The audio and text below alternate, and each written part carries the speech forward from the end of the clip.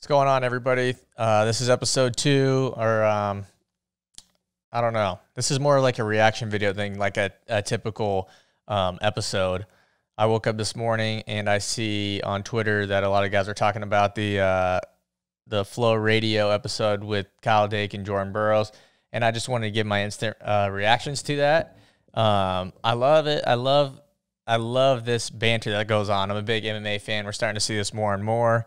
Uh, I think my guy Conor McGregor started it. Where, well, I guess it goes back even further than that to like Chael and whatnot. But um, I think um, he Conor McGregor brought it more towards like the forefront of everything, and Ben Askren too, who we're gonna get to in the show. But I loved it. I loved the back and forth that they had. But I do think that in the beginning there, it was. I think it shouldn't have went about it the way that it was. I think that every all parties that were involved should have been alerted about this, and uh, I think we would have had a much more fair argument between both sides or all parties. When you, I don't, I truly believe that Pyles didn't know about this, and I truly believe that Jordan Burroughs didn't know about this, and uh, you can kind of tell whenever they, whenever kind of, you know, it's the it's the flow guys right here. It's Ben Askren up here, and then Jordan Burroughs in here, and then they, you know, Jordan Burroughs gets talking, and then in slides Kyle Dake, which makes for great I'll give I'll give credit to Ben Askren, who apparently he's the one who set this up. It makes for great entertainment for us. I loved it personally, but in order to have like a completely fair argument, everybody has to be. You got to know because I think Jordan Burroughs was walking into a landmine here, and quite frankly, I think he won by just being like kind of calm and collective the whole time.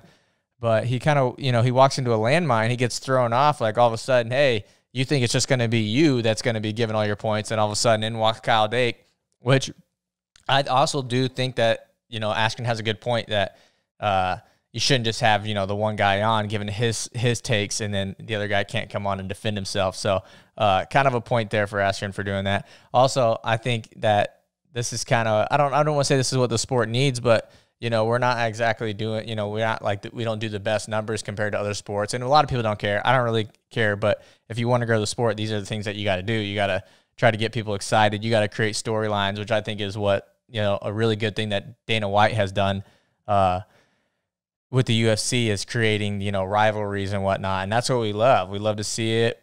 Um, that's why we love watching um, Iowa and Oklahoma State. That's why we love watching um, or like why you know we have the rivalries: Penn State, Ohio State, Iowa State, Iowa. We love we love uh, this kind of stuff. So if if I you know one kudos to Askren for making it happen. I think he, I don't think it ever would have happened if he did alert everybody. I think they'd be like, no, no, we're not doing that. That's not, you know, the way our sport rolls. So it's kind of, you know, he kind of had to play dirty to, to get it to happen. It happened. And uh, here's some of my thoughts. Um, which also I want to go back. If you kind of watch when Dake kind of slides in here, you can kind of see JB kind of be like, okay. And then you watch Pyles. Pyles is kind of like, his body language just like, oh man, you could tell. Like they talked about it afterwards. Pyles told Ben Askren not to do this, and then and then it happens. And so Pyles is like, he's a professional. He he kept his cool. He was just kind of like, okay, well, because he was, I think, I believe that he was the guy prior to this kind of um, on JB's side, so he knew he was going to have to kind of go battle with JB on or Jordan Burroughs, whatever you want to call him, uh, in this argument. But let's get into the argument itself. There's a couple things that kind of stood out to me. I didn't. I ended up. I just watched the the argument side. I didn't watch the rest of the episode. I just as soon as they were done, I kind of stopped. So if they kind of touch on anything here, uh, that's my apologies. I should have watched the whole video, but I wanted to get this thing out. Um, there are a couple big things that that I wanted to get into, and uh, the main thing is when you're doing arguments, when you go back and forth, you know, if you watch any sort of debates online or anything, there's got to be a mediator. And I think because Pyles wasn't ready, there really wasn't any sort of mediator in this. So the, they would just kind of go on and on and on. And the, the whole point of this whole thing was supposed to be uh, a, whatever year for Dake versus uh, 2011 JB. So they were supposed to just stay in that. It wasn't supposed to be, we're not, we, I don't think they were supposed to hype up you know the the trials for next year or anything like that. So they kept going off on these tangents, and I and I wanted them to just kept. I the sh- it, it made for good television, of course, but they should have kept bringing it back to the actual topic at hand. It almost felt like some sort of like political debate where they you know they ask one question and then 10 minutes later, we're talking about something that doesn't even matter. And, uh, but then again, they weren't, you know, nobody were, the only person that was in on all of this was Ben Askren, and I think he loved it. I think his whole thing on this was like get entertainment. He he's at the end. He you know I kind of watched the uh, the very beginning of after they left, and he's like, I brought you guys the best episode of FRL ever, which it could be true. I don't know. We'll see. Um, but I think that if there was more uh, structure, we could have probably got a better result. But I think strictly entertainment purposes, I thought it was fun. Uh, and also, I don't, I don't know who like is producing all that stuff, but I'm pretty sure that you can mute people. So at the end there, whenever they had, they were going to give Jordan Burroughs 60 seconds and Kyle Dake 60 seconds. Kyle Dake started again chirping Jordan Burroughs in the middle of his points when he's supposed to just be for him for 60 seconds. Mute the guy. Just mute him. There's a mute button for a reason. Like we want to hear his points, and then you know he just keeps talking and talking and talking, which will bring me up to a point later in the show that uh, why I think he was kind of doing this. Um, let's see another thing. Kyle Dake was, you know, I think it was Pyles who jumped in here at one point and said that there's some Jordan Burroughs will never have as good of a win as David Taylor as uh, Kyle Dake did over David Taylor, which I think is true. Jordan Burroughs kind of uh, said that's not true. He said he had Andrew Howe, which I think we all. Andrew Howe is great, but David Taylor, you know, he's one of the all-time greats. And uh, but one thing that I didn't that I thought was insane to me was Kyle Dake trying to downplay Andrew Howe, and then uh, it's it's like no, that is a great win. And Jordan Burroughs later in the show brought up all of his. Um, I think he said he had five different finalists or five different champs that he had beat over time. So um, I don't know. You can't you can't compare stuff like that. You can't compare different eras and different greats and whatnot. And then like at the end of the show, they were talking about uh, the point differentials and and and Jordan Burroughs was talking about how, how many points that he scored compared to Kyle Dakes, and that's another thing that you can't really you can't compare when they do it when they do like any sort of science experiments and whatnot. And I hate I'm not a big science guy. It was my worst subject in school, but I do know this. I do know that whenever you do some sort of study, you have to have two different you know you know study A and study B, and they both have to have the same you know comparables. So you can't really do that when you have when you know different opponents. You can't compare the point differentials and whatnot because it's just different people. Um, another thing with with Dake was in the beginning there, Jordan Burroughs was started bringing up some of his freestyle results, which to Dake's credit there, that's not what the argument was. The argument was, you know, their two respective best years in folk style and who would win. And Jordan Burroughs was kind of bringing up some of his freestyle results. And to Dake's credit, it, that shouldn't matter. That's not what the argument's about here. So he was bringing it up then, and then and the Dake kind of shut him down, saying, "No, that's not that's not that's a totally different thing. And then later on, when Jordan Burroughs was talking about his best wins, Dake continues to go on and say, "Well, what was their? How many world titles did they win?" That's literally you're now you're just picking. You're just trying to argue any point that you can, and uh, I think that kind of shows to me that this whole thing really for Dake wasn't. I think Jordan Burroughs definitely. I think Jordan Burroughs came on this show so that he could tell people, you know, so he could just, you know, he's like, I have the time. Let's argue. It's fun and everything. And I think Dake did not come on the show for that. I think Dake came on the show to try to get in to play some mental warfare with Jordan Burroughs. I think he was trying to get in his head a little bit. And I don't know if it really worked. It's kind of hard to tell just because Jordan Burroughs was kind of like, you know, sat there pretty calm and collective, regardless of what Dake was saying about him uh, changing his posture a little bit. But those little things like that and I and I love people who talk crap. Like a lot of my favorite fighters are the guys who talk crap. But you got to be good at it. You got to be good at it.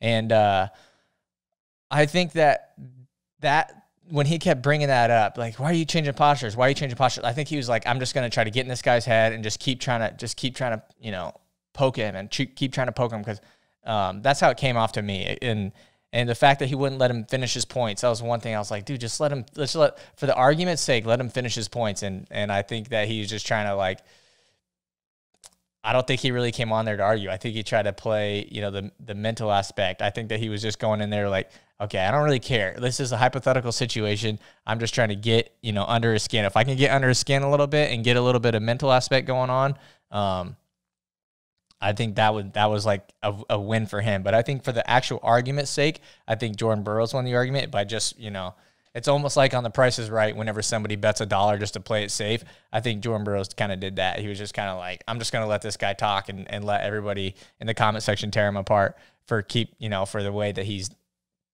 I don't want to say behaving, but uh, the way that he's kind of acting on the show, which maybe it's not an act. I don't know the guy personally. Maybe that's how he is. Maybe um, he's always like that. I don't know.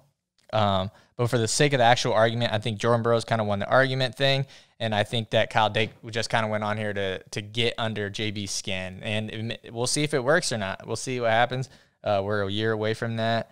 Um, another thing that I thought was interesting that I think kind of I think all parties kind of uh, agreed on this that when Jordan Burroughs was talking about, uh, you know, the whole reason that they're changing to like the final X thing is because Kyle Dake was whining about that. I do, I think that might have got under his skin a little bit, and I think this whole thing, I don't really know how I stand on this because um, a big, I'm a big UFC fan, and uh, you know when you when you see fights where there's you know the you know okay we had Jon Jones right we had Jon Jones and he was fighting Dominick Reyes and a lot of people thought Dominick Reyes won that fight.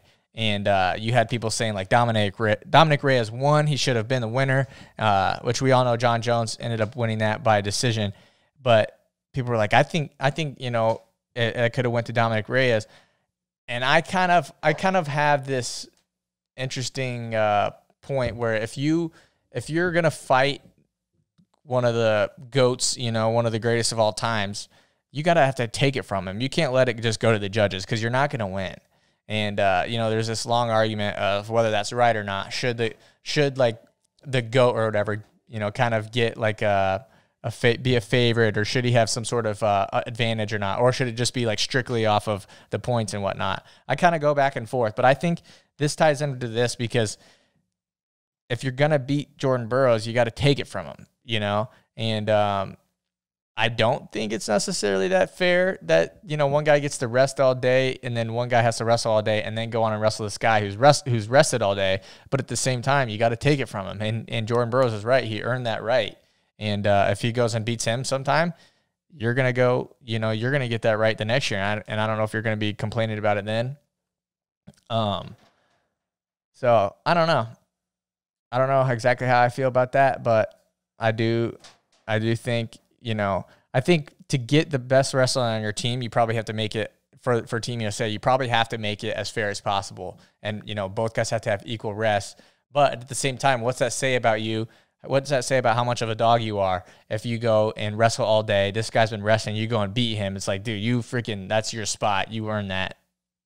Um, I don't know. That's gonna be interesting. I'll tell you what, we're gonna get. I think uh, we're gonna get a lot of views on uh, on uh, those guys wrestling next year in what 2021 or whatever. And uh, who knows? Maybe maybe more guys will come onto this, uh, go onto that show and, and, argue with each other, or come on here or whatever. I'll let anybody argue about anything on here. And um, I loved watching it. I loved watching it. I don't. I'm not sure if Kyle Dake earned any fans by this, and uh, but I don't think he cares. I think if he goes on and, and beats Jordan Burroughs and and people talk about you know bring up that episode, it, it will pay off for him in the long run. Uh, it'll be interesting to see. I'm excited to see it. Uh, that's all I have for today. I just want to give my instant reaction on that. Um, thanks for everybody who watched the last episode. We had a lot of good feedback. Um, you can follow us on. I think I made an Instagram last night, so it's at at Stalemate Show, and uh, all lowercase. And the YouTube channel. Make sure you like, comment, subscribe on all that. I hate saying that, but uh, do it, the more subscribers we get, you know, the more it'll be easier, the easier it'll be for people to find our videos and whatnot. Um, I got the lighting fixed. I know last time that the one camera was a little bit dark last time, so I brought all my lighting out. So we should have good lighting, and hopefully this all works out. Thanks for tuning in, everybody.